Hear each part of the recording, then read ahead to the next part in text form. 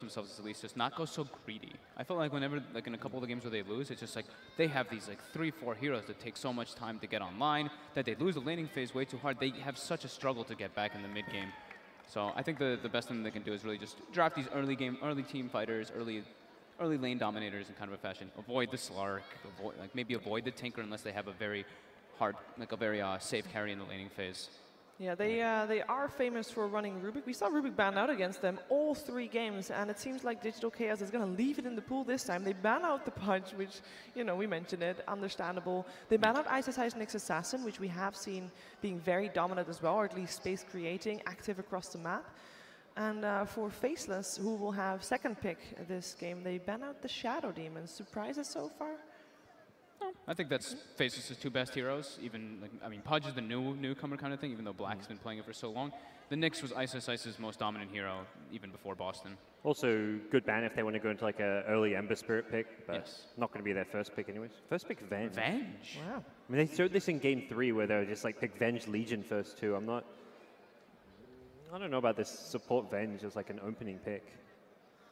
Not convinced. I mean, he couldn't really protect Resolution's Naga Siren in the, in the previous game they had, where Naga didn't come online early enough, but perhaps they have a better chance against Faceless, who, as we mentioned, doesn't have as crisp of a laning stage as uh, Team Secret had that specific game. Rubik picked up. Now, this Rubik, we have no clue where this Rubik is going to go because they play it in multiple positions. Same can be said for the Vengeful Spirit in a way. Yeah. So keeping it open. Let's see what they uh, pick up next. I mean, is there any any heroes that you would like to see come out from Faces for this one? A core specifically, The Ember. the Ember. yeah. yeah. Ember is probably the biggest one that stands out for me. Uh, they Uh, do go go for, the Earth Spirit, They, okay. they really like showing their two supports right off the bat, just putting it out there. They, this is the second or third time in this tournament that already they, first two picks, they show their hand. Yeah, they did the like the Witch Doctor, the Pudge. Witch Doctor and- Pudge, yeah. Yep. Okay. Well, just, I'm, they're just, getting, yeah, they're just putting it out there. Like it's, it's, yeah, it's just, a it's aggressive. That's the good thing. Like the Earth Spirit, I like that they do it because it's just aggressive early game as well. But okay. It's very different to what like we saw Secret do, where they first do pick Luna Ember. You know, it's like, oh, Yeah. here's what we're doing. Can you beat it? And I guess Faceless just don't. Like, I guess the kind of cores they like aren't like the top tier one pick cores, so they don't really care if they don't get there in the first two because they can be Yeah. kind of more flexible. But Drow strats, so Drow Drow. With strats. Avenge too. So they've got the double aura, Magnus armor. against an Earth Spirit's kind of risky. That's what we saw um, Jerax completely dismantle VP with. Oh, yeah. But Jerax and XY are spirits though, right? That's a little bit of a difference, I would say. Uh, still, it is always risky to show your hand at the start of the game. A Drow Ranger strat, a Drow Ranger strat, everybody knows what you're going to do. You're going to push hard early on. The mid game is where you come to shine. Faceless has all the time in the world to prepare for that. Yeah. Darkseer banned out from DC. Pairs, super well with their spirit. Faceless also like a decent amount when Isis doesn't have his space creators. The Invoker ban, yeah. Weeha Invoker Yeah. with the Drow Ranger. Just they probably want to just be focusing their bans on these, you know, ranged, ranged, like, kind of semi carries in the mid lane. Yeah, we saw we, we saw Jabz have uh, sometimes a little bit of issues in the in the mid lane as well. He needs a lot of help Mhm. from the the previous games that we saw from them. Yeah, he Earth Spirit is a great one for for helping. yeah, he got solo killed by Sumail, I think, in two of the three games. I want to say. He, I mean, Sumail is not an easy mid to go up against. yeah, no, absolutely. So absolutely you not, know, of all the mids, uh, but then you know you're going up against Weeha as well, which is also not an I easy think- task. I think that's why it's important for them to avoid something like Slark for black so that they can help them in there. Like Yes. Slark is a hero you have to help him the hmm. whole entire laning phase. So I think they should go for something like their Juggernaut. They seemed like very comfortable with it. Black seemed to have just a little bit of struggle on it in that third game, but overall in in his early and mid game he had very good decision making and they were very close to winning that game. That's where a lot of teams are playing Jug and the other one the Life Stealer because you can leave these heroes in like a 1v1 against an offlaner and the supports can roam around and you're not worried about that hero not getting farm and experience. Yeah, you're giving the other offlaner so- a bit more out of the lane, but you're getting something elsewhere on the map. Well, it is over to Faceless to decide what they are going to go for next. So they're going to have to reveal possibly a core. Again, we don't know what that Rubik is going to be doing. Time to reveal one more card. They should probably go for Ice's hero. I think saving Black's hero is decent because they have multiple options. They have the Life Stealer and the Jug. I think those are the two best just to get in Drow Ranger's face. You have you already, you already have a kind of a vehicle with the Earth Spirit in that manner to get on top of the Drow Ranger. Now, normally when you go up against a Drow Ranger, you go for the aggressive tri-lane, or at least you try to have at least an off lane Mm-hmm. that can pressure her, or at least contest her in, in last hits. Do you feel like they're going to go for an aggressive duo slash tri-lane, anything that would fit Ice Ice Ice's hero? Is, is Magnus the right hero to do that with? I think it's more going to be like a Magnus Jug type strat again, Yep. similar to what they did game three. This is not a hero that you normally do like kind of dual lanes in the off lane so much. Maybe Earth Spirit comes up if the supports get too aggressive, but Magnus just wants to like Iron Talon jungle a bit, Yeah, get his XP, power. get his farm. It's a very passive off laner who's not looking to contest the lane. It does get in the face of Drow later too. It's a heavy team fight already coming out from Faceless versus the you know the Drow strat that we've already talked about from DC. DC just to steal that jug, run it mid, take it away. They could. They definitely could have all the chance to if they want to deny that. Or they could pick something up that they know is going to be good against it. Which heroes would be able to deal with the Juggernaut? A Weaver? Weaver, support Weaver, Could definitely likely. be the, yeah, it could definitely be the support weaver. 'Cause It's versus Rubik or Spirit. They have a lot of they have a decent amount of disabled form already. Rubik now has a good a very good spell to steal with that. Yep. But yeah, go focusing more on like the minus armor. It's like heavy physical damage oriented lineup coming out from DC versus Faceless. Yeah, curious to see what they look to build around the Magnus. Mentioned the jug, but there are other kind of melee carries you can pair for the Empower. Mm-hmm. PA comes to mind. Ooh. A great gap closer to the Drow Ranger. That's used that was a, the big thing that we saw at Boston. Every Yeah. time somebody picked Drow Ranger, it was like instantly PA, like bam, hmm. right in your Yeah. face. So definitely a possibility. We did say it ran in the mid lane. Yeah. Very good call. Sheever. Nice. Nice. Yeah, the synergy with the Magnus is there. And they got the silence already from the Earth Spirit as well, so they have, I feel like they have got quite enough tools to deal with the Weaver, even if it is a core, if it turns out to be one. They also have flexibility with the PA for the lanes. Like they can wait to see what DC pick up with both their fourth and fifth pick before they decide, okay, do I want the PA mid or in the safe lane? Yeah, absolutely. So they don't have to worry about the PA like losing in the laning stage. Is it excu- exclusive that Ice only plays the mag? I think I saw Jabz play the mag at Boston. It's been a while, but I think recently it's more so just been Ice. There's still, there, there are flexibility options for, for both teams, um, but more so for faces. I mean, you mentioned that maybe they're going to try to go for a little bit of a cheese strat. Maybe, you know, it doesn't really look like any kind of a cheese type of draft right now, but they can definitely throw a curveball. And they're kind of showing they just saw what Secret did with the PA and they're like, oh yeah, let, let, let's try some of that. That, look- that looked decent. That looked Yeah, decent. that looked pretty good. right, so digital chaos, they kind of know what to deal with. They have got maybe a little bit lack of lockdown right now. I think they want like a magic damage type hero in the mid lane. They don't want more right click. They're going to be too all in at that point. PA has the evasion.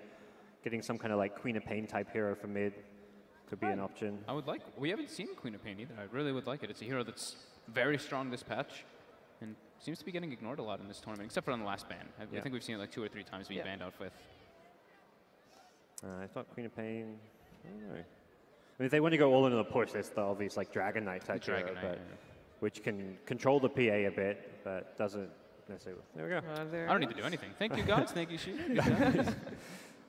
I mean, if we can read the draft as, as we just did, then surely uh, the players will know what's coming as well. No, so they- Sheever, we know more than that. What are We you don't know- talking oh, about? Oh, yeah, okay. Don't say that. Okay. No, it's, it's, They know nothing. I really liked as soon as you mentioned the QoP, I was like, yeah, PA is a hero that takes time. It's squishy throughout all stages. Queen of Pain has the massive burst potential, wins the lane as well with the Drow Aura. Definitely fits exactly what they need to have that mixed damage potential on their lineup. Just need that offlane initiator for DC, most likely. And if you are going to run a Queen of Pain mid, you do not want to play Phantom Assassin against that. So No, what not. mid hero for, for Jabz comes to mind against Queen of Pain? Could Queen of Pain is a Rubik mid? very strong Do you- laner. do you switch the is Rubik still- to a mid yeah, against Ru- Jabs Guap, play Rubik mid, plays Rubik mid as well. They They ban out the the puck? puck? Uh, I guess Banning out the off there. thinking offlane puck, Offlane puck, but with the Drow, that's something OG used to a bit, and some teams like to, to pair with Drow. massive amount of burst damage potential with that puck as well. So I think that's, that's a good ban. Just disrupts the whole entire team fight that they have. It's a big. I think it's a little greedy right now coming up for Faceless. So they need something that can tie in and fight very Yeah. early because like all these heroes kind of require their levels. PA requires farm. Mag wants a six. Mag wants blink dagger ideally. Yep. That's why I feel like a Rubik mid is a bit Mm-hmm. less greedy. That's why you send him there. He doesn't have to dominate on farm. He's more of the tempo controlling type hero. Well, let's see Ah. what Digital Chaos thinks uh, that Rubik is going to do because they ban out Slark, so they ban out a core. And And they they, go for the bat. So the moon, the moon bat. Yeah, and Slark would have been a hero that isn't too afraid of versing about in lane, although I'm not sure it would have been the, the best to fit in Faceless's draft. All right, like Falk, they're me and expecting Sheever have done mid. one. Last pick's yours. oh god, No pressure. it's too open-ended. You don't want PA mid, so Jabz mid hero. Yeah, you don't even know what role it It, is. it's either Rubik or, or could be support. carry, Oh, could be mid, could be support, Yeah. could be three different roles. Could be an offlane if they want to do mag mid, you know? Yeah, it's still they could still leave it very open. They could pick anything except a full position. I just I hope it's not Tinker. Okay, to be fair, we have it's not. only seen Nuts play the Witch Doctor and the Winter Wyvern so far. Yes. So if they do run Jabz on the Rubik, then one of those heroes would those would those fit? Wyvern's decent versus Drow Ranger strats. Decent. Decent. Not great against.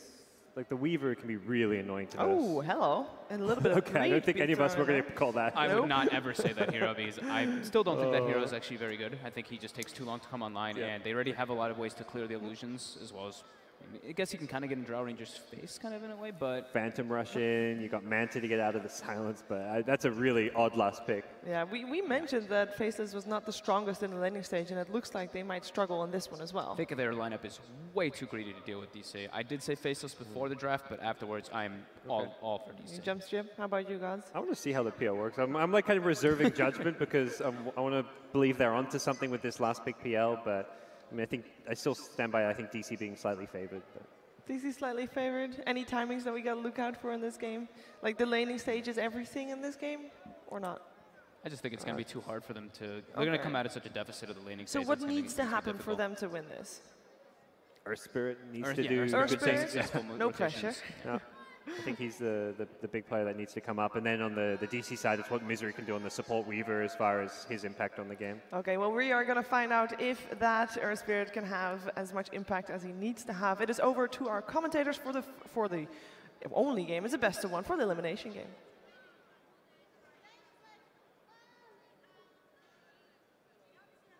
Word. We're going to start with the word odd, Merlini. Um, Feels good, dude. PL is, I'm not going to go against that, even with the illusion change up. It seems odd anyway, but it's faceless. It's meant to be odd. It's their thing. I think you're just trying to take away from the fact that you thought it was going to be a mid Rubik the whole time. That is potentially possibly right. Um, I was sitting there and they were also tossing it up as well if it was going to be that mid Rubik. But it's not. It's going to be PL into that mid lane going for them. But DC's draft looks very, very stable across the board too.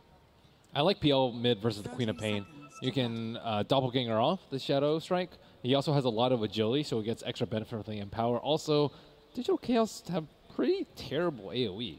Mostly just the Queen of Pain, unless you want to go for the Ags, Maelstrom, Drow in the late game. Uh, but That's still going to take a decent amount of time, and by that point, Yep. you're probably expecting everyone to be in power buff up and have a lot of initiation from Faceless. yeah, you have to deal with the RP. That's the one big problem I see going late game uh, into this in, into the Drow lineup. Yeah. It's also one of those fun little things too when they when they run their Rubik. Uh, obviously, they bypass going for the damage and go for the gold per minute. And Nuts will walk around with Aghanim Scepters, Blink Daggers, Force Staffs. He's to be a real big controller, and that's kind of what I like about both of the supports coming out from Faceless. Uh, combining the Earth Spirit, who's already been like the king of control throughout this tournament, and then add the Rubik on top of it. It's just a lot, a lot to work together. But I'm with the panel as well. Like it's it's going to be a rough laning phase for Faceless. Is it? I don't think so. I don't think it's that bad. Queen so? Queen dominates most matchups, but Phantom Lancer I think is one of the few melee heroes that actually does pretty decently because of the doppelganger. Um, and of course, you do have the Earth Spirit threat on their side. Uh, bottom lane, Bat Rider versus PA. Uh, it's going to be a, a wash, I would say. Probably slightly Bat Rider favored in that. I don't really think they can kill uh, the Bat Rider at all in that matchup.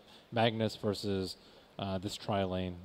Yeah, Mag probably just needs to skewer away, play it pretty safely. I definitely think DC has the edge, but I don't. I don't necessarily think it's that one-sided. I want to see uh, Ice Ice Ice Ice Ice's positioning. Like this observer ward that he managed to get down is, in fact, really really useful because it's, it's going to make it so at least his lane should be pushing out all the time towards him, so he won't get in that position where potentially stun gusted and then just killed off by the cold arrows and damage that the Drow Ranger provides. I wonder if you can actually do some creep pulling shenanigans with the Magnus. Like if there's a range creep in the large camp, if you can like skewer skewer yourself away, kind of like uh, the You do Wisp. like with the IO. Yeah. it's possible. I don't. That, that timing's going to be a lot more difficult. Like, Io seems a lot more fluid. Like, when you do the skewer, you got that little wind up beforehand. you got to wait for him to attack. It's possible. Or you just take the creep with you. You can't skewer creeps. That's that's a shame. Nerf, please. Pudge, Pudge, is, Pudge is already too imbalanced. Like, what you want to make it so he can't hook creeps? Yeah, it's, it's the indirect nerf. So uh, so Magnus can actually skewer creeps now. That would be a dream. that would be a nightmare in team fights. All right, ice, ice, ice. Oh, skewer. He's going to drag in Misery underneath the tower. There's no Shukuchi on Misery. It's like a lot of damage. Underneath the observer ward, he knew he was going to be okay, but one more hit would have done it. He doesn't have skewer for a while. Misery, quick Shukuchi, and then just runs away. Does the damage, and that's going to be all. But What if they had a sentry ward there? this would have been so sad. Not that they would. no, it was close. It was just a little bit further to the north. So we just Shadow Strike. Jeb's just doppelganger. I wonder if he's actually going to max the Shadow Strike. I don't really think it's a great idea versus the PL, but it is very good versus most of their other heroes. Generally, one level is enough if you want to like stop a Magnus's blink or damage a PA. However, mm-hmm. Looks like Moonori had to burn through a large amount of his consumables early on in the bot lane. Earth Spirit is waiting for his initiation, just twitching with his stick on the bot lane. Black has the ability to jump in quickly too. And there's no Firefly until now. Like, Moon has hit his level 2, so if he needs to level it up, he can do so. But now, Rolling Boulder, short range, Nuts coming in close too. If he can just reach him in time, but with no boots, he won't get in range to get that quick little telekinesis grab and throwback. But they force the abilities out from Moon at least. Black also doesn't have a, a stout shield. He was taking creeps quite a bit, but he has plenty of regen to deal with it. And they managed to deward that uh, pretty cleverly placed observer ward, it seems. So looks like ISS will not be able to get that much out of the top lane, especially with that observer ward eyeing his possible Iron Talon slash jungling movements. That's a fun little rune to have. Can at least screw around with the camp if he wa- wants to wait to the three minute mark. Misery's going to say hi. But a quick little haste rune maneuver. Also want to keep my eyes on that Earth Spirit. He's a big rotating hero that's done so much this weekend already, and uh, he's hovering around the mid. But Weeha's already back pretty defensively on his tower. And Wee's like at full HP. I don't think there's any way they kill the Phantom or kill the Queen of Pain in this situation, especially with the bottle coming out right now. Maybe if he aggressively blinks, but that's also pretty unlikely given the matchup. This observer was done so much for DC. It's now seeing XY rotate to the top lane, so they understand the Earth Spirit is up here. Potentially that'll work with the Magnus. If they can get us on the skewer, they're probably assuming they can find that kill on the top lane. Many teams have tried to prey on Ice Ice Ice's over aggressiveness or slight positioning, which it looks like you can find a kill. But this, is, this trap's not going to work, so it's just straight back to farming for the Magnus, and they let the Earth Spirit soak up the experience in the lane. But as mentioned, DC are crushing in the lanes. Queen of Pain, 16 CS2, the only 6 of the PL. Probably exacerbated by the fact that there is a Drow Ranger on the safe lane who has 22, pretty, pretty comparable in terms of the uh, safe laners. Jabz actually missed his Phantom Rush. He challenged up the hill, but I don't know if he just lost the attack on Weeha. But his rush never connected with Wee. That Observer Ward again sees the rotation.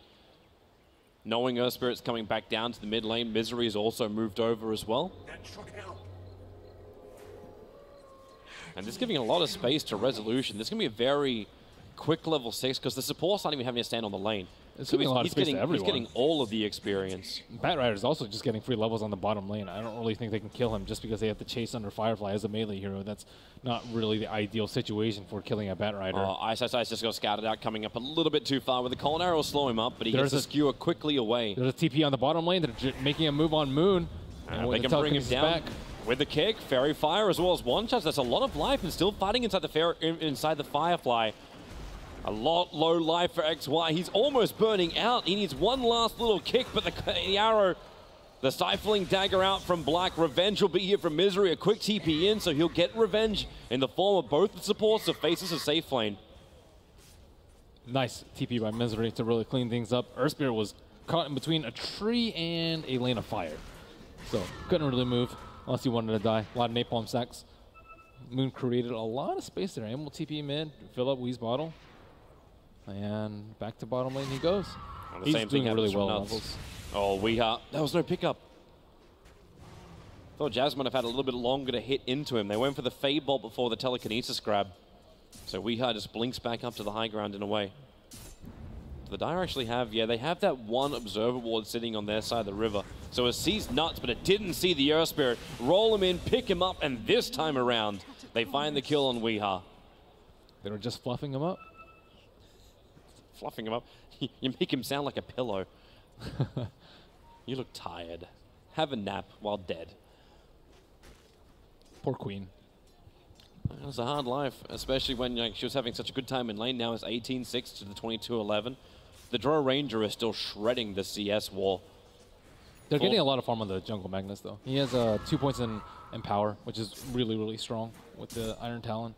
So, yeah, Drow Ranger's getting farm, but keep in mind that I think uh, Faceless's net worth is a little bit better spread out. How's it looking overall? Okay, so it's only like 400, 300 in favor of DC. So very, very, very negligible for the early start. Nuts. Gonna say hello to Misery. Gets hit by the Beetle, and uh, well, his creep's trying to help him out, but Nuts knows he needs to get a telekinesis grab. He's gonna survive this. Can't see Misery. We'll see Moon, but Misery's already find, found that kill, and Moon's moving closer towards Black. Just has to kite it around the tower. So won't find the kill on the PA and Black. Very defensively TPing out. Potentially could have fought Moon there. No level 6 uh, uh, lasso up for the Bat Rider yet. Radiant's bottom tower is under attack. He does have a Helmet Dominator, grabbing that Mud Golem creep up nice and early. Well, this is a nice little trap. The Observer Ward's gone from the secret shop areas. This will allow Faces to move undercover. So Nuts, they start with the first hit. The roll, that's very far off target from XY. And Saksa maybe thinking he can have a crack, but no. Resolution has his level 6, but probably needs that extra point up in cold arrows before he's really going to have an opportunity to get that nice little kite damage kill. Yeah, or his lance. He's very close to his lance. Jabz in the mid lane, taking a little bit of harass from Misery and Wee, but he has a lot of armor. And Phantom- Misery's taking a lot of damage too, so you go into that doppelganger. Misery wants to jump up, the Lances fly. Sonic Wave from Weeha will miss. Rolling boulder forward as we have ourselves a quick pause. That Sentry Ward from Jabz, that's what allowed him to go for the initial lance, but Misery moved just far enough north to get out of range of it. That's when you say mouse issues. Yes. having, having hang, hang. It wouldn't have killed him regardless. Yeah, he would have survived. Yeah, 290 damage. I think he had like 410 at the time. But did force him to be scared, pop his stick, divert the support's attentions, attention. But you're fine with that if you're Jabz. You've, you've still got your Shrine to activate. So if you want to move down to that, with the uh, with the Earth Spirit also engaging, so Jabz can throw himself another lance out if they can keep Vision of the Weaver. It's two or three seconds until that until that Shukuchi's going to come back off cooldown. So if Earth can get a combo, It, he's really far away from Misery. I don't think you can get a lance on him. Maybe if they had a sentry ward in the area, but that is not the case. well, so he'll probably get to come back after the pause in a second and just watch Misery escape, potentially. Rune's getting up in Black's face still. But Black, I don't think he's going to be too sad about this now. Like, Black's still sitting at 3k net worth. Yeah, he's about 800, 900 behind that of the Drow. But he's also getting high enough levels that he'll feel confident enough to initiate onto the Bat Rider. And with so many one charges, plus having the Dominator up his sleeve, this is, in fact, kind of Black's bread and butter for a safe lane. He likes having these one-on-one matchups at this point because he, he wants the solo kill. Mm-hmm. That's what he, and that's going to just propel him forward a long, long way. I'm surprised he doesn't have a Blightstone. I think any of the orbs actually synergize very well on the Mm. on the PA. Orb of Venom if you're a support, and Blightstone if you're a core. He's already level 7. That crit just does tremendous amounts of damage. Well, although Bat Rider does already have his Tranquil Boots. Yes. So he's got he's got some decent armor, like sitting at six. But as, as you said, like if, if he does have the Blightstone, he can still get through.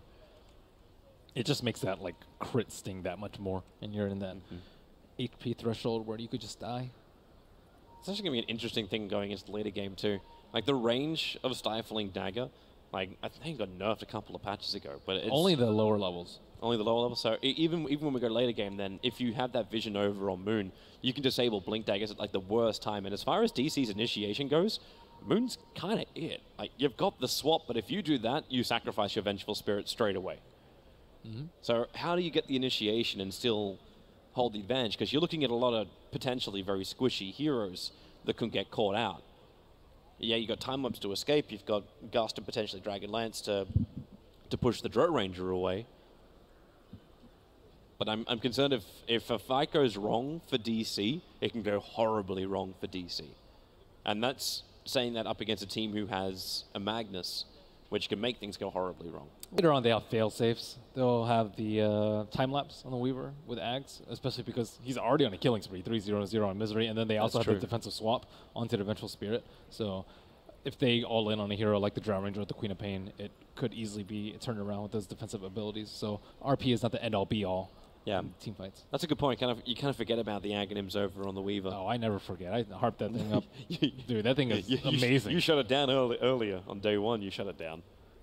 Was that fogged? You shut it down. No, I, d- I think they had something else though to deal with. They had like a SD or something else to kind of save a hero. But if you don't have any defensive uh, saves, it, that thing is amazing. I mean, this thing is just amazing in general. Mm-hmm. Time lapse. And then Rubik gets Aghanim Scepter and steals it. That might be a while. Definitely could be. Especially the ability to actually steal time lapse because Weaver's just pumping Shukuchi out all the time. Dude, Rubik doesn't even have boots. Uh, life is hard for him. But then 6C GPM will solve all his problems. it really does. It really does. Unless he wants to do it the old-fashioned way with old-fashioned farming, and then he goes for the 50, pla- 50 plus damage, which is not really needed. I don't really think you'd go for it in this lineup. Uh, I mean, you'll you'll be hitting creeps now and then, but I think it's going to be pretty fast and furious. Mm, the goal per minute. Heavy farm. Who was it? I, I'm, trying, I'm trying to remember Jams' build actually when he went for the mid. Because I got a funny feeling he went for that like hand of Midas kind of style and then went for the gold per minute as well. And he hit this huge item spike around the mid game. Had a hell of a lot of damage. But yeah, can't remember that one for now. Either way, uh, looks like we're going to have Queen of Pain reconnect back into the game, which is an upside. There were So citing of PC Yeah. issues. So we're going to give it a try. So we can come straight back into the game now, and we'll see if Misery can escape. The kick is well off target from XY, and Misery will just Shukuchi away to safety. As you said, Toby. Uh, Black Moon, you are really low. Flame Break will give him some space, and it was the one charges that give him a little bit more life. Black, he doesn't have Phantom Strike available, and won't run any further through that Firefly. Bet he wishes he had a Blightstone. He probably did.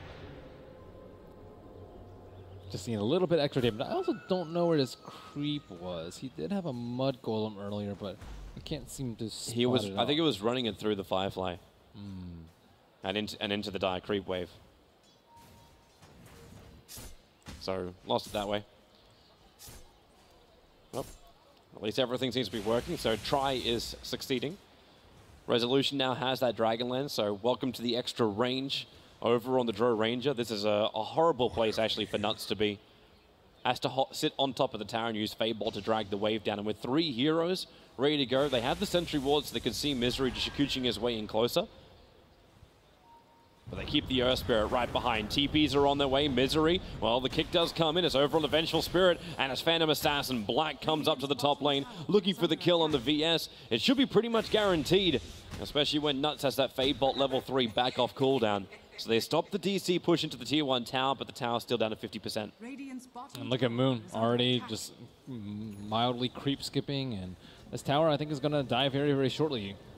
Resolution already used precision aura. Oh, Lasso's coming in. Resolution's got Gust available. They're going to get the silence onto the Magnus, trying to keep their distance away from the RP with the flame break. They know he was going to tick out. The skewer's going to be off target, but now it's Moon being chased down. The perfect kick out from XY. Rolling of forwards. The Moon will fall, but the revenge is tit for tat right now on the bottom lane. Throwing the lance up to Resolution, slowing him down, but Nuts comes in, but in comes the reinforcements. Weeha will arrive. Sonic Wave is on cooldown. He still has that Scream available if he wants to kill Nuts off that way. With the Scream in the attack, he'll actually do so.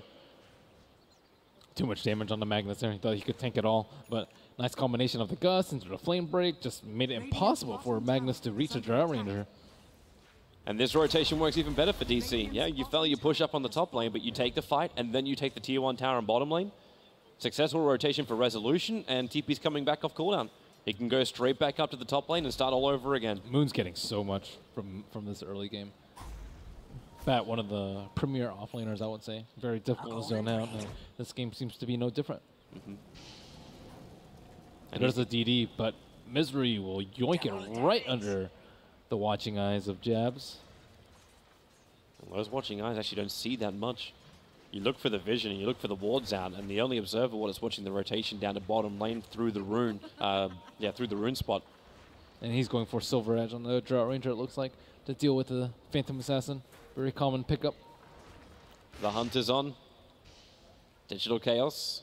That top tower is still at 100%, so if DC want to try and defend this, they potentially can, but with a double damage rune on Misery, they may even just win as the trade-off pushing into the mid tower, because the catapult wave has already arrived. Yep, Precision Aura proc again for Resolution, and it should be another T1 down. Black has pushed, uh, bought the Blight Stone so he can push towers maybe a little bit slower than DC, but still respectable.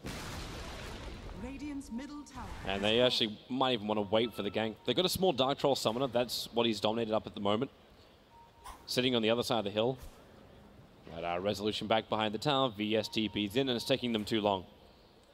Plus the Observer Ward they planted up near the Shrine scouted Moon's movement to the top lane. This might be an easier one if they can catch out Queen of Pain, but no vision on their side of the river.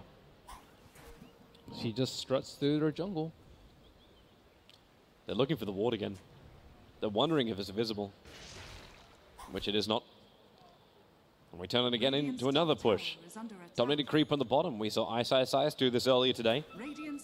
And power up his creep, push in with the Satyr Blast, and just attack into the tier one towers. Keep this this battle as a as much of a split push as possible. Just want to slow down the draw as much as you can.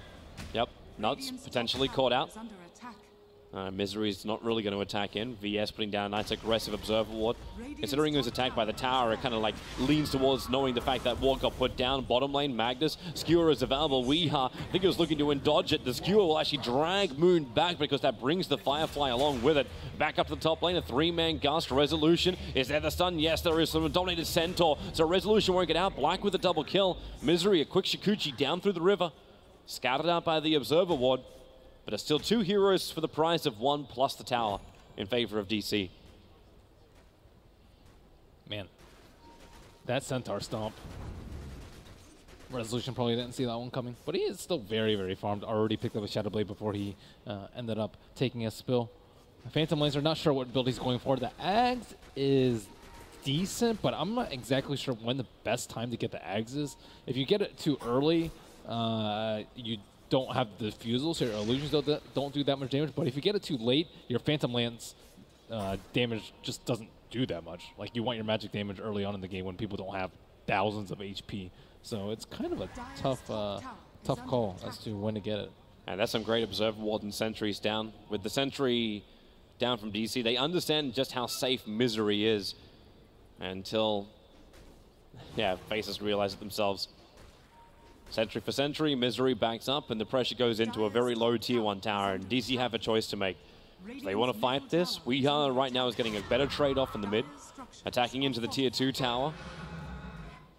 I saw Shukuchi steal from the Rubik. Was he really going to reach? Rolling boulder forwards with Stifling Dagger. They reach up to Saksa. Even Rider getting kicked by the stone of the Earth Spirit. Another Sentry Ward has to be planted. This time it's going to be the crit. Bringing down the VS, but the RP catches out Weeha. Lasso them back in. Keep the Firefly right on top of Faces. It's a good fight for DC if they can keep that damage going. A Resolution could do it from the back line. Misery is already dominating, getting a double kill out this. And Jabz trapped up in the tree line. Weeha holding him in with the rest of the creeps. That is four heroes lost for Faceless and potentially more. But they have no stun available to stop Black from TPing away to safety. Wow, they went so deep. It's just the Vengeful Spirit. It's not exactly the ideal hero to kill first. Uh, and on top of that, it was just a one-man RP coming out from Magnus. Downside of the Helmet Dominator build is that you don't really have that much mobility. Even with the Cobalt Foreman, that's the only mobility that could possibly be provided by the uh, the Helmet Dominator creep, you just can't really get in there. He skewered in, but it was uh, th at their big team fight ultimate. Magnetize, I suppose, wasn't used yet by Earth Spirit because he had already used the majority of his spells trying to catch out that Vengeful Spirit at the start of the fight. Yeah, he'll need to have a little bit more mana up his sleeve for the next engagement as he's going to pick up his Arcane Boots now. Yeah, not, a, not the greatest fight for Faceless, but perfect for Digital Chaos. Nicely kited. Misery actually did more damage than anybody else in that fight. Just Shukuching himself around, never really becoming a like a big priority target for Faceless. Yeah, he hits for 150 right now. It's quite respectable as we Weaver, and still no deaths yet on Misery. Well, they found Rubik. Blink over, but with a stolen blink in the hands of Rubik, he's able to move away faster than the Batrider can catch up.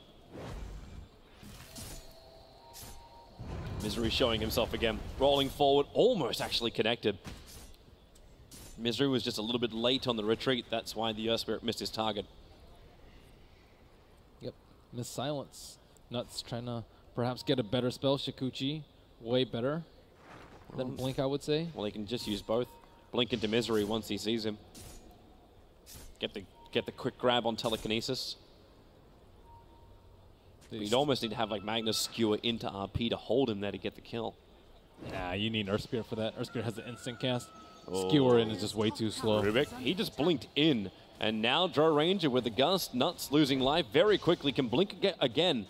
He's got no real help and he's dying to the Scarab Beetle. And Misery knows that Nuts can't actually do anything to stop his own death. That's a really smart play by Misery. If Misery has showed himself right there, he would have stolen Shukuchi and then would have uh, gotten away from the swarm. Looks like uh, DC is wondering about Roshan. They threw the sticky napalm in, now the dominated creep puts the tornado inside. So both teams thinking about the big man at the moment. But uh, Faces need time. That Blink Dagger is still not up on Ice Ice Ice. They have the Deso and the and the Alpha Wolf on the PA, so she actually will crit for quite a lot of damage. And the Empower, mind you. Now all they need is the control to go with it. Yep, that is correct. Wondering if Diffusal will do enough for that. It's a healthy amount of damage. He also went for treads too, so far more of a fighting build than the split push BOTs. That is the normal alternative. Diffusal is up. Dire's bottom tower is under attack. So the only other critical item which you're looking for from Faceless is going to be that Blink Dagger on the Magnus before they'll be willing to fight, even if their supports don't have a lot to work with. They both had to build into Arcane Boots, or are both looking to build into Arcane Boots. Oh, One of them has it. Rezo just gets a free tower, free T2. Makes contesting that Rosh just a little bit more difficult. Perhaps difficult enough to the point where DC might look into going in there themselves. They don't have a Helmet Dominator on their side, so no easy way for them to actually tank the Rosh. I guess there is the Swarm available from Misery. Structures are fortified. You still have the shrines available. That's the advantage of the Radiant side. Well, Quick Blink Dagger is up. Quick TP to the Shrine. Will be a four-man smoke. They look to Weeha. Black slows him down. A quick blink away, but Weeha up the river, skewer forward. Weeha has his blink off cooldown in one second time. Another Stifling Dagger, another Silence. Now maybe you even commit it. No, you don't even need it. They keep the control up nicely, and with no Queen of Pain for 44 seconds, and an Alpha Wolf behind them, potentially, Faceless can down to Roshan. Bat Rider is a menace around the pit, though. Well, until he's got his Force Staff, it's not going to be as effective. Has to blink out. Stifling daggers to slow him down. Sticky napalm is the steal from Nuts. Not exactly what he was searching for, but Faceless take the safer objective, and that's the tier one tower. I still think Napalm's pretty good. It makes a turn rate, especially for heroes like a Weaver, who have no cast point on the Shukuchi, but need to turn around in order to run away. It can be quite problematic.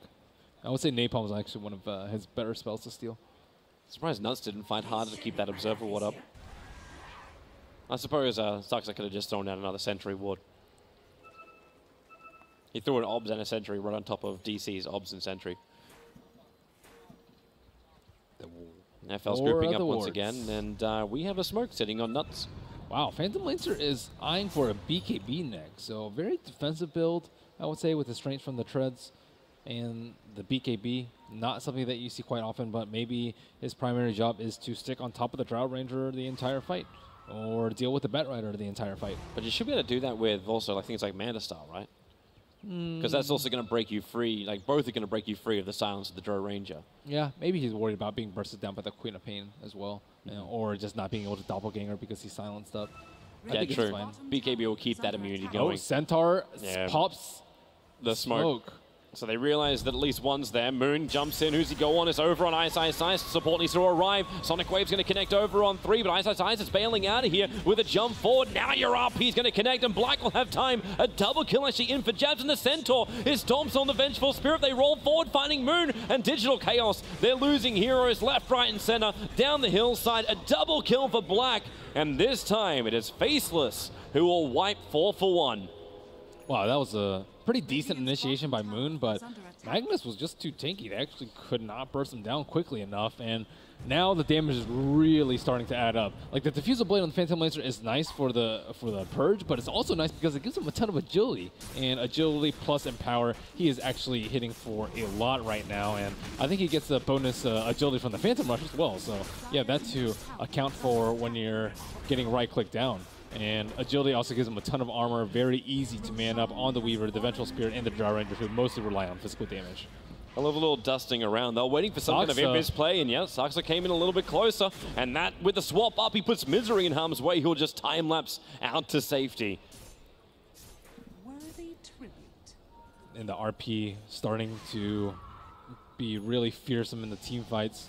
How can DC actually deal with this? Normally, the Queen of Pain is kind of able to deal with the Magnus. The problem with Queen is she can't get in and out of fight. She can get in, but then she's just going to die, and perhaps lends more credibility to Faceless Void or Faceless's uh, ban of the puck over to Queen of Pain.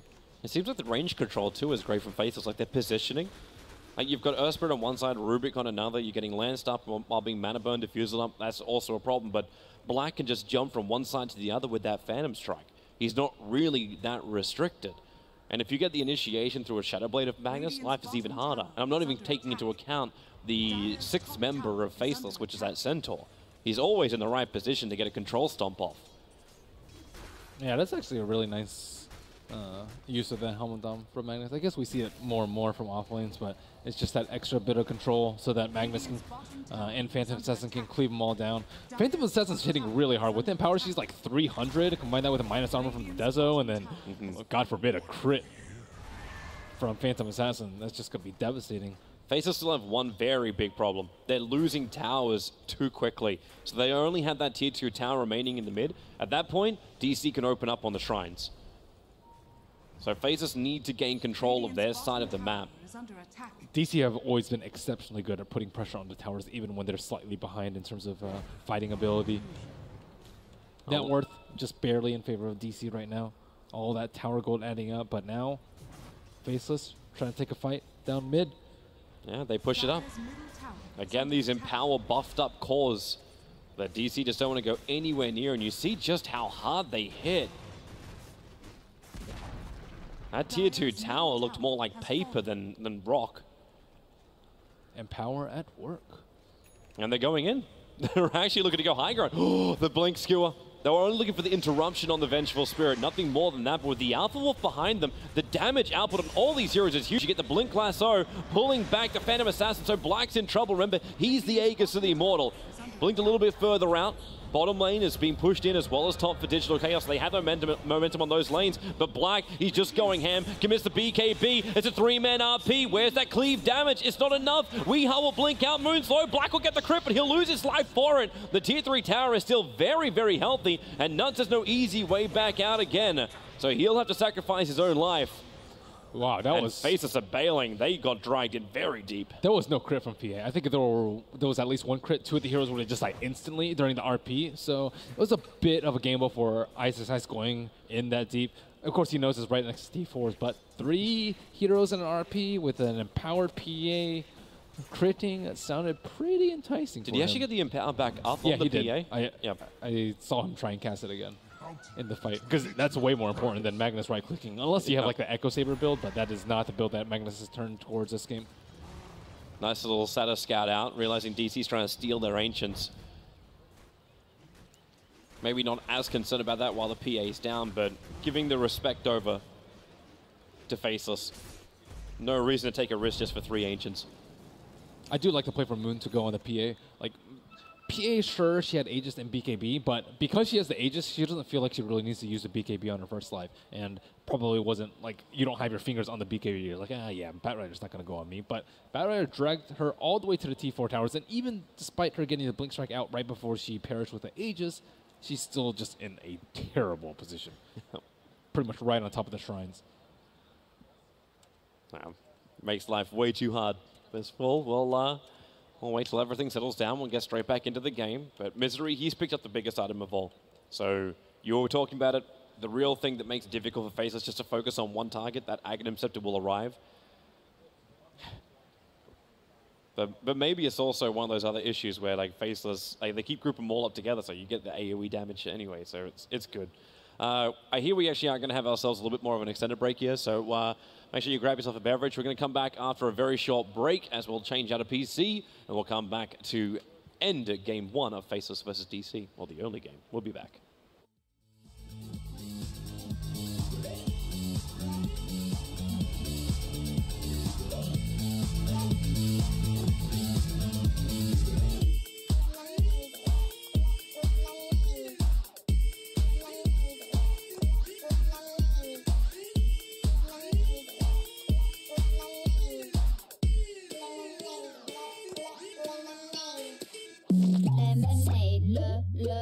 Lemonade.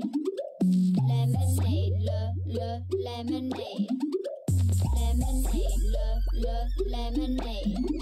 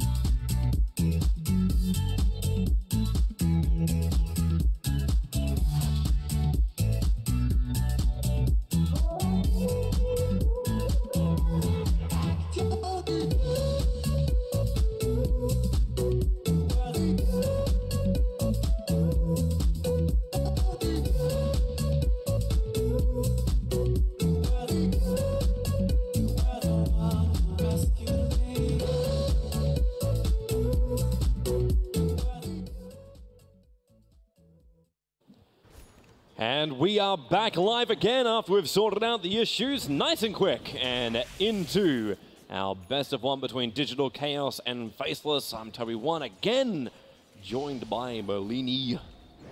Hi, welcome back. Yep. So recapping what just happened. If you, you know, maybe Have only for the entire just tuned in. Yeah. Uh, Faceless had a slightly worse early game. Drow Ranger and Queen of Pain kind of dominating their early game turn CS. Bat Rider was a big nuisance, but Faceless Void struck back with a really big team fight, 4 for 1 in their own Radiant uh, jungle. However, DC are keeping pace in terms of farm. Drow Ranger is highest CS in the game currently, and Roshan going to be eyed very quickly soon as Faceless just failed their high ground push with Phantom Assassin being pulled all the way back to the T4 towers. Yeah, which is why we now see Faces just trying to get control of their side lanes. They were the other things that were pushing in during that, and that's why that bottom tier 3 town down to 479. The top tier 3 tower was fine, but they took a lot more damage with the lane push more than anything else on the top lane. Drow Ranger's already Um, preparing for late. Moon is in a little bit of a world of hurt. He thinks he's actually awake. Oh no, he blinks just in time. Not to commit the RP, able to do so. So Moon caught out. Only a sticky napalm steal, but it is still one very dead Moon Meander on the bot lane. RP down, small silver lining for Faceless. Ags is going to be the next item for Drow Ranger. Very important. Ags Mjolnir is ridiculously good versus Phantom Lancer. I also think that's kind of a justified purchase for his BKB too, knowing that that's one of the ways for Drow to deal with him in the late game. Mm-hmm. Wow, DC scouting out Roshan six minutes after it last died. Somebody didn't take down the timer. Well, you can't blame him. We had did have the interruption, Yep. so It's easy to forget. yeah. Had that stopwatch going on the side of your computer and then just forgot to stop the watch. Usually they have it in chat. Most, I, I even know some pro players that have like three time three times down. One is when your age expires. One is when it first can spawn, and another one is when it last last possible spawn. So They just it's a very in. good habit. Well, if you want to be a good support, do that for your team. For now, the- the other objective we um, we kind of were looking at was faceless. How how long they can keep this mid lane pushed out and pressure off their tier two tower. Because the second this goes down, they start losing shrines and digital, and then start taking out the shrines. And DC need that maneuverability. They need those shrines to fight near. Not to mention having the regeneration on the front lines. Well, they see the Phantom Lancer. Are they going to actually try and smoke up towards the Radiant Shrine? That They're like coming to the dangerous Earth Spirit. prospect. So Earth Spirit, quick blink away. Moon won't hit his target. The rolling boulder will get XY out to safety, but bottom lane is where the attack was coming in from Faceless. Nuts is staying in the tree line, so the pick up, the throw down, the crits! Oh, well, Moon, welcome back to the world of the living. You can now return to the land of the dead. And Black wants to go for more, looking for more crits. Two hits, no crit just yet, but the Troll Trapper is moving forward. He can use that now over on Weehart. The blink out. Magnus can't get close enough. Would have had to skewer behind the tier 2 tower to make that work. But they have a catapult wave coming forward, and this means the tier 2 tower is forfeit of DC on bot lane. Hello, Empower. It's a nice little buff. I say little. It does so much work for all of Faceless. We saw it when they ran the Magnus off lane earlier today, and we're seeing it again. And Digital Chaos are really on the ropes.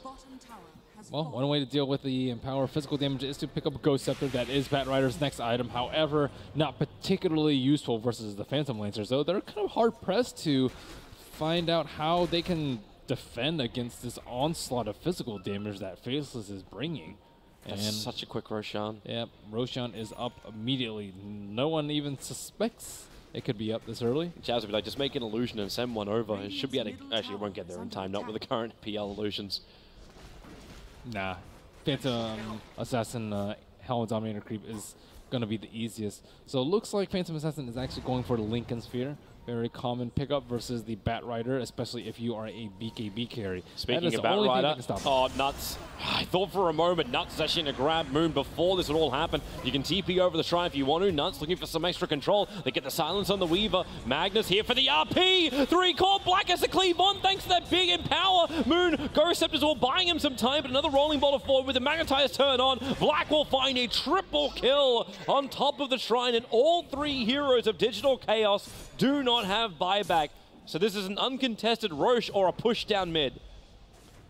Damn, what an RP from Ice Ice Ice right there. And I do like the failsafe in between the Weaver and the VS. If Weaver gets gone on, VS swaps him out. If VS gets gone on, I'm sure that he would probably get time lapsed out. But that doesn't really work when you guys are still very clumped and Magnus is just preying on this positioning from Digital Chaos. And this T3 is under siege. It's at half HP. Yep. Jabz is the only one really committing to it. Black actually bailed out to pick up the Linken's Sphere. Uh, but the tier 3 tower is lost. They can do some damage into the range tracks. But they're pinging out. They, they want to go for both. So the Dominator Creep scouts out Roshan. They have an Illusion Rune to boot, so they can keep that up to scout out if DC want to TP into their own shrine to contest Roshan. Um, and two wards, why not? The Observer Ward doesn't actually give them that much vision, though. They don't have vision of the shrine itself. Those trees are obscuring that Observer Ward, so they might be in a little bit of trouble if DC can react fast enough, but it doesn't look like they will be. Batrider's coming, but it's minus. too late. The blink, the skewer gave him perfect vision of Moon's approach. With the Fade Bolt down, the Firefly wears off, getting caught on the hillside. So Moon is down again, another 48 seconds, just as Faceless take Roshan and the Aegis with it. Black is just doing ridiculous amounts of damage. They actually don't really have a good way to stop them. Like, they don't have very many stuns or ways to keep him in place. He hasn't even had to pop his BKB to get the damage off in most of these fights. Yeah, that's an 8 second BKB still. But the Aghanim Scepter Arias for Weehas, this makes the pushing high ground a little bit more difficult for Faceless, just because of that really low cooldown on the level 3 Sonic Wave. Not to mention his talent tree, where he adds another cooldown reduction. Yeah, they actually need to get level 25 on the Queen of Pain ASAP. That is one pretty good way to deal with the Phantom Assassin You're if looking for they can life manage steal? it. Yeah, the life steal and the blade mail. That's going to be a long ways away. I don't even know if they can start thinking ahead that far into the game. Last T2. Yep. Uh, Spirus, the man who's been tasked with defending the bottom lane, he's hiding under the tower at the moment, or hiding in the tree at the moment. And Misery feels very inclined to make a jump. There's a Blink Dagger on the Earth Spirit. So with an extra TP forward, he goes for the silence. This was all pretty much a trap with a follow-up stun. And Weaver, he fell for it. The swap out, the Sonic Wave will connect, but all of them coming in the RP! Again, three heroes caught in it. Ice, Ice, Ice on the money. And they'll find Weehara blink up to the high ground. He's really slowed up thanks to that diffusal blade and Jabz. Jumps up with him, and again, another charge. Wee with the secondary blink goes into the camp. Do they actually see him there? Well, they don't at the end because he TPs all the way home, but that's a three for one trade off.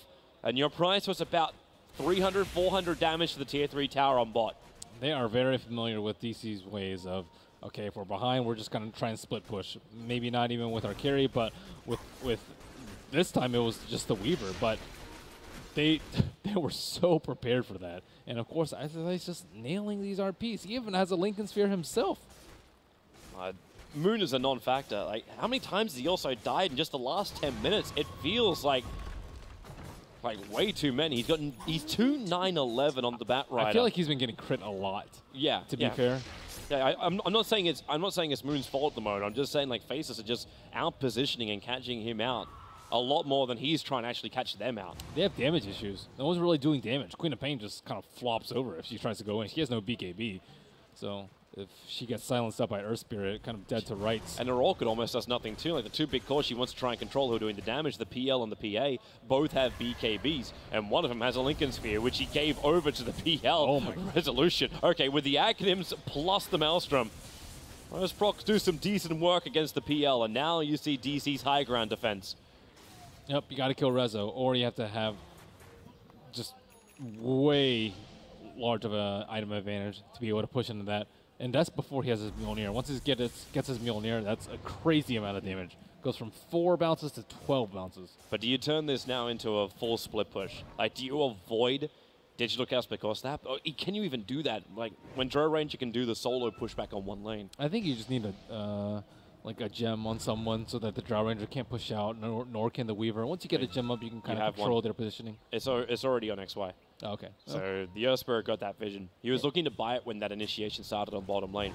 Yeah, get the gem, just uh, kind of keep them controlled, keep them in Drow Ranger, she's really hard pressed for item slots in the late game. You definitely want the Silver Edge because you want to be able to kill the PA. You want your Ags Mjolnir because that's all your damage. You want the Hurricane Pike too. It allows you to siege towers and it gives you some sort of survivability. And then what about your last slot? You want a lot of things. You want maybe an MKB to deal with a PA, to do even more ag split damage to the illusions. You want a BKB perhaps, so you just don't get run down. You might want armor, so you don't get one shot by the PA. There's just so many different things for that last item. You might want a butterfly to help the precision aura damage. Like th- there's the possibilities are like you know five to ten different items that she could get for that last slot.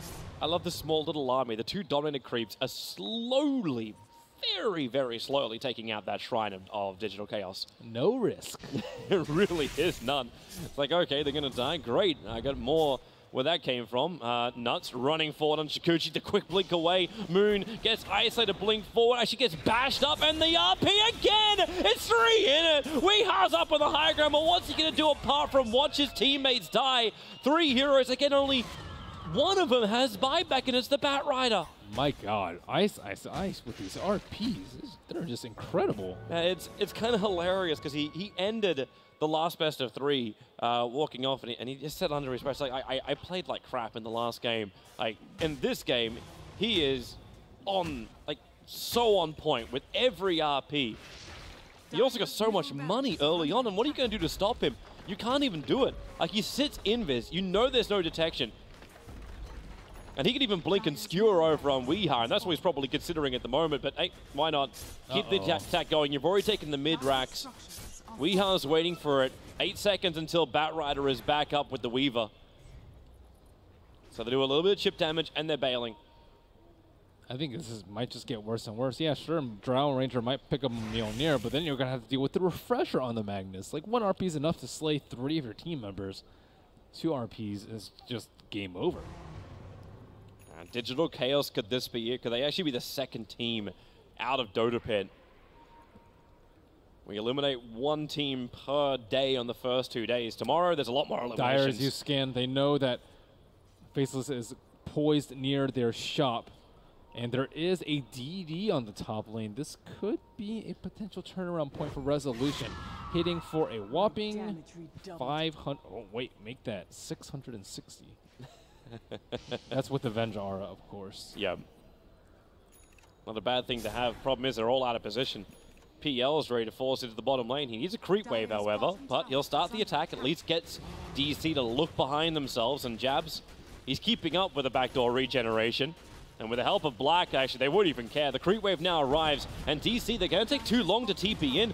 Meanwhile, Jabz continues to replicate himself up.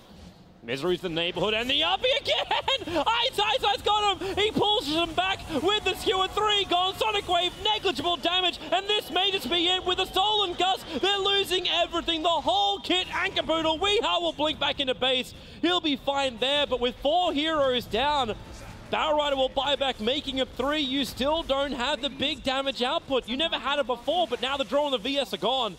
You're losing all three lanes, and potentially the game. No BKBs versus Ice Ice's constant three-man RPs. They just get make they're just cut up into pieces. Yep. No way to really survive, and they do it again. Nuts with a blink forward. Still with that stolen gust. Weeha Ghost Scepter will save him, but he has to regenerate back up. Digital Chaos will have one last fight in them, and Faces will be the ones to determine when this happens. The, meg- the Megas are now up. Digital Chaos are locked inside their base. And Black, they turn around, they go back in again, they find Weeha, the perfect gust, the perfect silence. He's down for 83 seconds, so again, Digital Chaos have to fight 4v5, outnumbered and out DPS'd. That's one of the big problems with Drow Ranger strats. You can actually you can take the T1s and the T2s, but after that, you're kind of lost as to what to do. You are very vulnerable in the team fights. They're not particularly good at pushing high ground. They couldn't really get an Aegis and let Resolution get really, really big this game.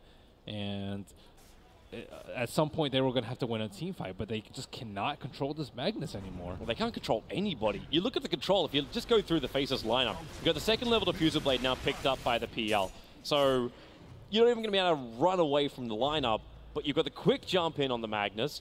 You've got more control coming from the Earth Spirit with his Yule Scepter. The Blink and the Rubik, he's done so much work with the Stolen Drow Ranger Gust. I think he's actually done more silences than the Drows managed to achieve in this game. Well, and you've got a full Abyssal Blade on the Phantom Assassin. So whoever he finds is dead.